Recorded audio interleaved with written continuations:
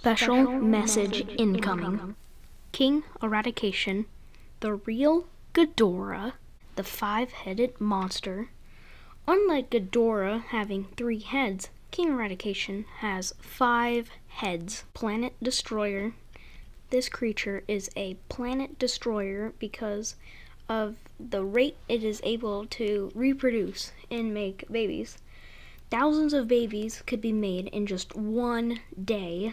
The average tooth size could vary depending on actual king eradication size because um, some of the king eradication specimens could be as big as planets and as small as a shoe, a alien from interstellar space.